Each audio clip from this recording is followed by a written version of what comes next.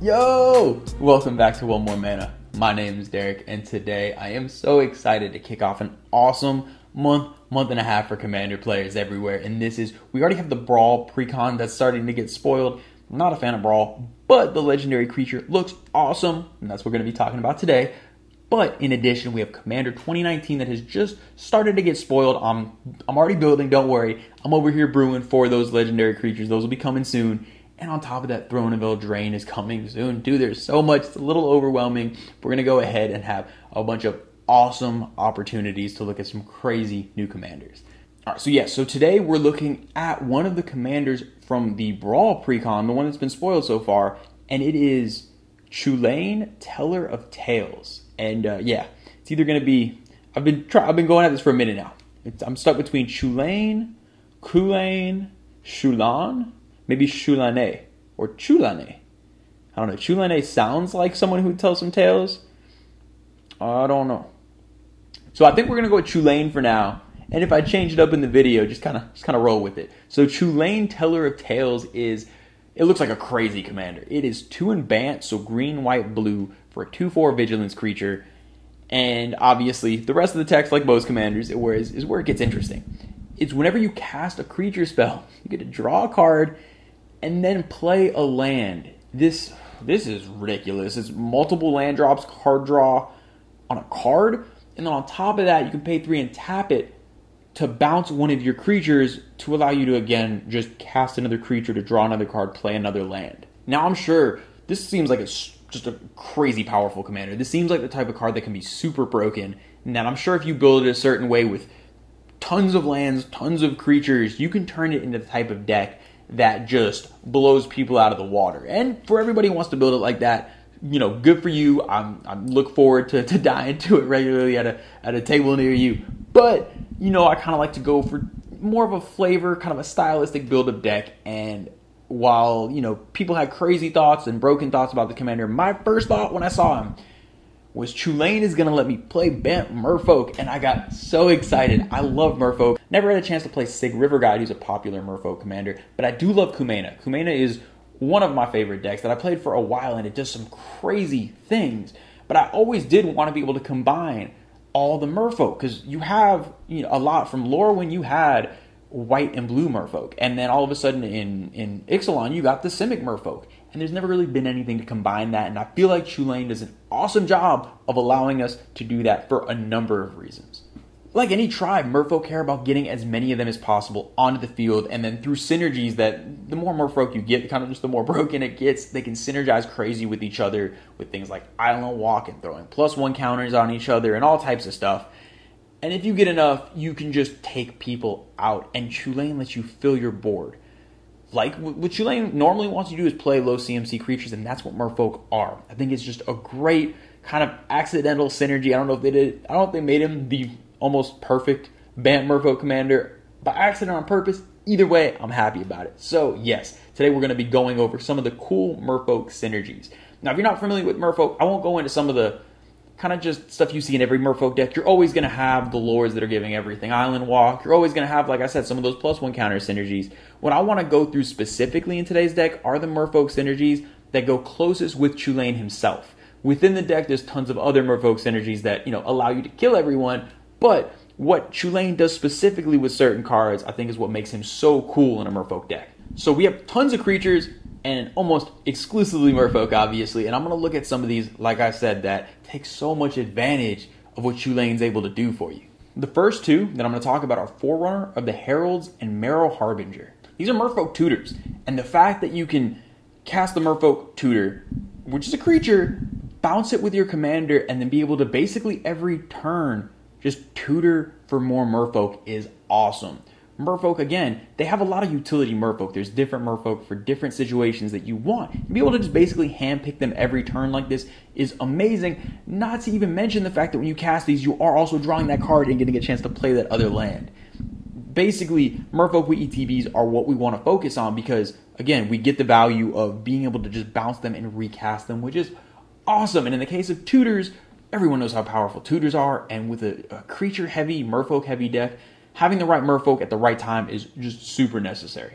Tempest Caller is another great one. When it enters the battlefield, you just tap down an entire opponent's board of creatures, which is awesome. And now, as a one off effect, this can be powerful, but again, because you can just bounce it and just keep replaying this, it can get insane. It is so, so strong. This bounce effect also can work as protection. So, if you do get this out, someone knows you're going to bounce it. If they do try to kill it, you can just bounce it in response, get it back, and then get ready to tap down everyone's board again. This is awesome, and especially in a deck with lots of creatures, you want to be able to just swing in without having to worry about anybody blocking.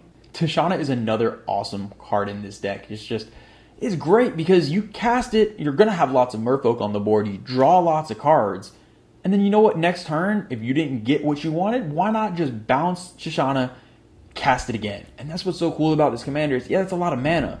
But because every time you cast a card, you're just playing lands out of your hand. And with Merfolk, you have the opportunity for big card draw. And that's what's coolest is, you know, normally you cast Chulane, you draw the card. If it's a land, you put it out.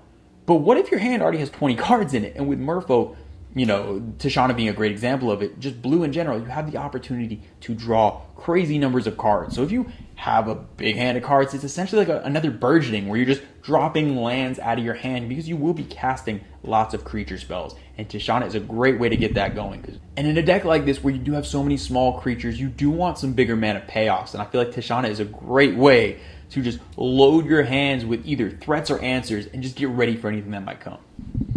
There's a couple more merfolk I am going to talk about. Another one is Harbinger of Tides. This card is awesome. It has the ability at instant speed to bounce one of your opponent's creatures, which is amazing protection. And this is awesome because if you play it for flash, it's four mana. Uh, if you play it sorcery speed, it's only two mana. And the ability to just keep bouncing this back to your hand and to keep recasting it with the amount of mana you can generate in this deck from, again, just drawing cards, dropping lands, is amazing. And essentially, what you can do is just you know, outvalue people. You're dropping so many lands. You're able to ramp so hard, and a lot of your creatures cost so little that if you're paying five mana total to play the Harbinger of Tides and bounce it, if someone's trying to drop just huge bomb creatures and they don't have the same amount of ramp you do, just keep bouncing it back to their hand and they won't be able to catch up. Because every time you're doing that again, you're also drawing a card and having the ability to drop another land. You can outvalue people like crazy with some of the abilities to just repeatedly cast creatures in this deck. And the last one I'm going to talk about for now is Deeproot Elite. This card is awesome. Now, we do want, with a deck like this, you just want incremental value. You want to keep getting value. You want to keep being able to cast creatures and just get value every time you're doing it. And over the course of the game, just build this crazy engine that's able to just beat everybody out. Now, your commander does an amazing job of this because you are drawing cards and ramping, but Deeproot Elite does something amazing as well. And it just starts throwing plus one counters everywhere. So those turns that are dropping a few merfolk, drawing some cards, dropping lands, also turn into buffs for your creatures. And you just start throwing these plus one counters around, and Merfolk can get out of hand like that. If all of a sudden you just threw three, four plus one counters on your board in a turn, everything can be unblockable. Or like we just talked about tapping down your opponent's board. Yeah, you're gonna have just an army of fish that are just flying at people, and once they start getting a little big, they get scary. And obviously, I already mentioned them. We are running Sygg River Guide and Kumena in this deck, of course, because that's the whole point is to be able to put them in the same deck. Sygg does a great job of protecting whichever merfolk you want to protect. A different board states, different combination of merfolk. A different card might be the most important card at that given moment. Sygg will do an amazing job of protecting whatever is the most important merfolk on your board at a given time. And Kumena just Kumena just benefits. If you have a bunch of merfolk, you want that Kumena out, you can draw cards, throw plus one counters, or make Kumena unblockable if you really want. It is great flexibility. And when you have a board full of merfolk, you want cards like Kumena that benefit from it to get, I'm going to say this word a thousand times in this video, but to get even more value.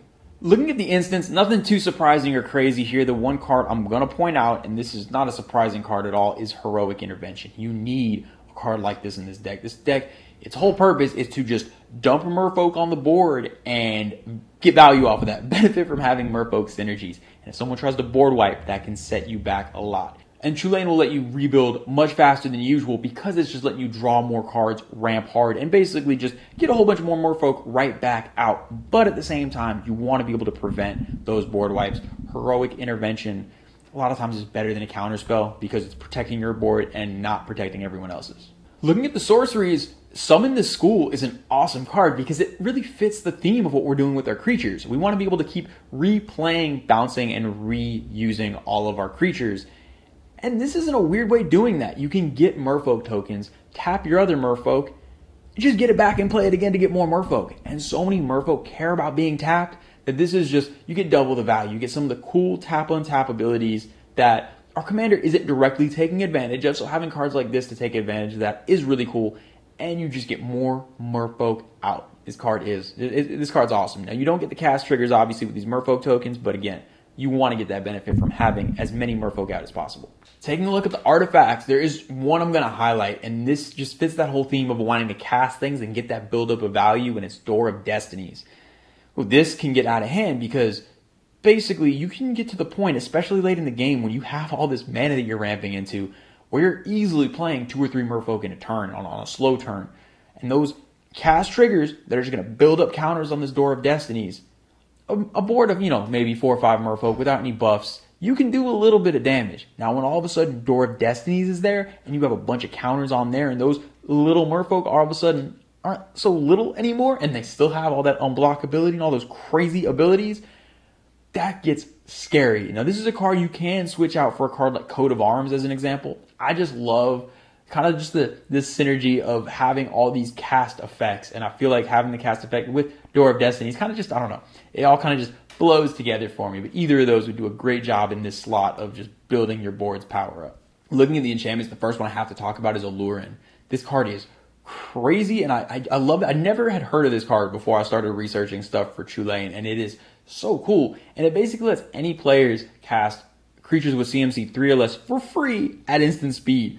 It just seems ridiculous. The thing is, obviously, it's a universal effect, but most decks are not going to have as many CMC 3 or less creatures as you will. Most Merfolk don't cost very much, and the coolest thing about this is you are casting it for free. You're not just playing it. So you're getting the card draw trigger and getting to play more lands and get more Merfolk and maybe draw into more and just keep looping that you can get into situations where you're essentially just getting three, four merfolk out for free, drawing all these extra cards, playing all these extra lands, and it's only a four CMC enchantment.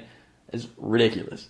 The next one I'm going to talk about is Kindred Discovery. Now, what's better than drawing a card every time you cast a creature? Why not getting two? Because we're running almost entirely merfolk, and with Kindred Discovery, every time one of those merfolk ETBs or attacks, you're drawing a card.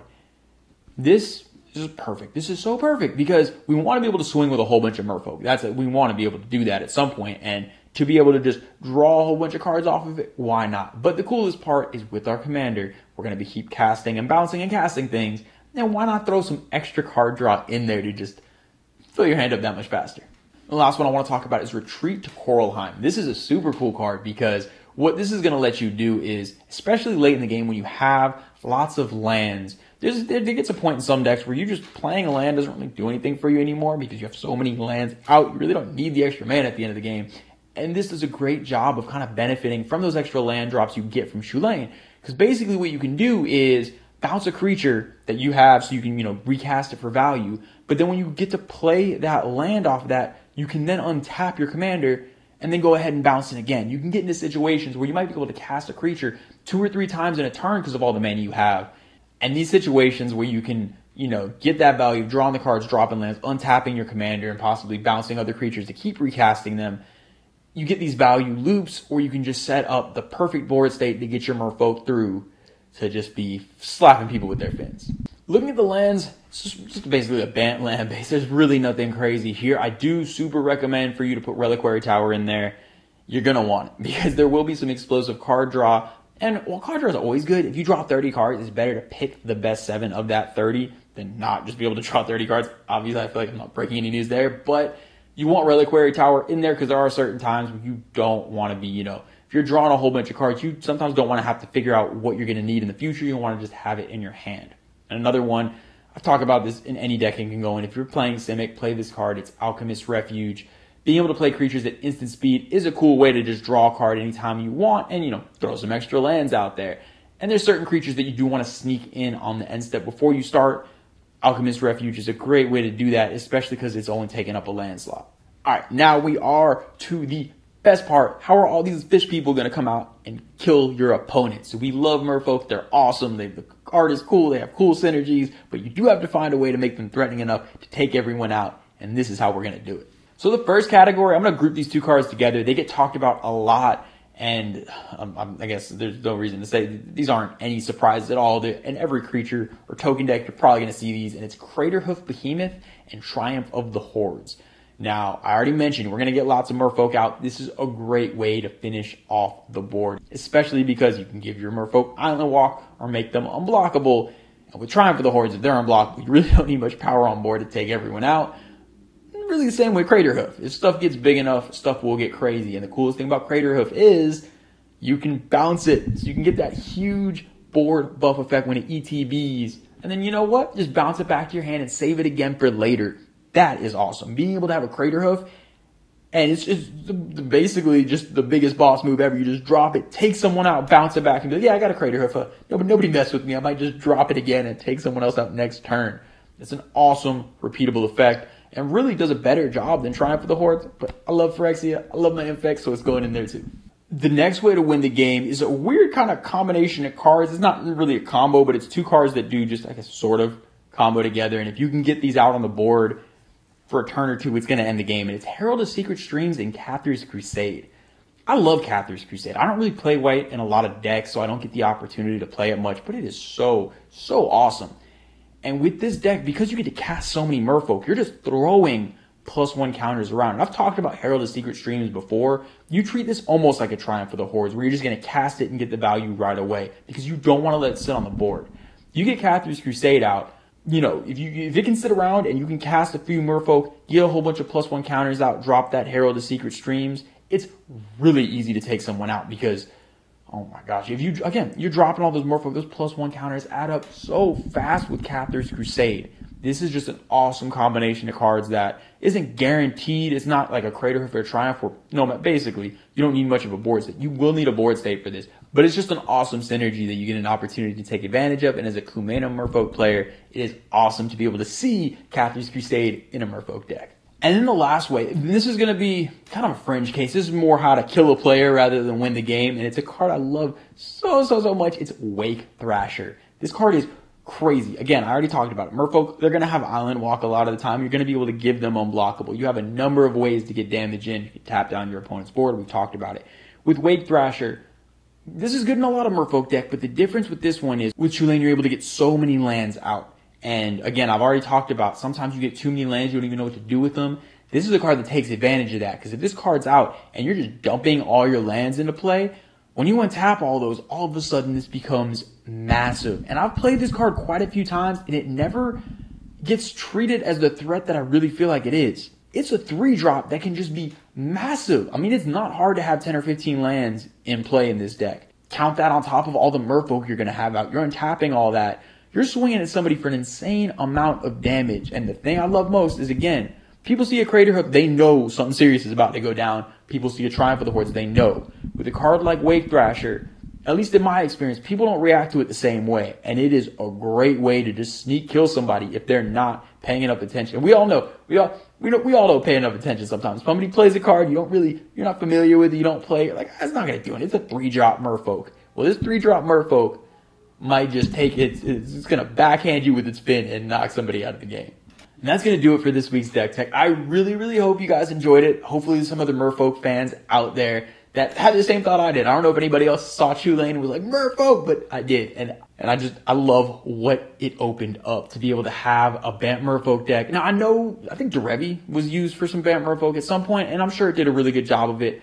But the value engine you can get off of this and the ability just to dump Merfolk, dump your lands I, I really think this is the best Bant Merfolk commander to date, and it is just an awesome opportunity to just put all these different Merfolk cards that couldn't all coexist before into a deck. So please let me know what you guys think. Let me know if there's any other cool different builds you guys have for Chulane. It's a very open-ended commander, so I'm sure there's some crazy builds that y'all will come up with, and I would love to hear about them in the coming the coming weeks are going to be crazy. I mentioned at the beginning of the video we're going to have deck techs coming from the phase commanders for the new C19 products, some of the hidden commanders in there. As always, say it every time. We love the patrons so much. Thank y'all for everything that you do for us. Unfortunately, I, I thought I was going to Vegas. I won't be in Vegas, but Seth and Ken will. So make sure you go ahead and beat them for me. Do your best. Take down. Don't let Ken bully anybody. This is a combat deck. Go out there and, and make sure you just keep countering it as much as you can and you know have fun. But I will be in GP Atlanta for anyone who will be there. I'll be there all day, every day. I mentioned in the last video, I'm not trying to sleep much. I will be living there. So